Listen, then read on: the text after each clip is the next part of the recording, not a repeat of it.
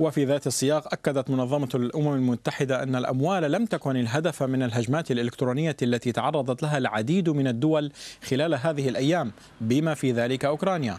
وأكد خبراء الأمم المتحدة أن عملية عمل القراصنة يؤكد عدم خبرتهم في جمع الأموال من ضحاياهم عبر الفيروسات والبرامج الخبيثة التي استخدموها في هجماتهم. ووفقا لتصريحات مسؤول برنامج المكافحة الجريمة الإلكترونية بالأمم المتحدة فإن الفيروس الأخير أصعب من الذي سبقه في الفترة الماضية.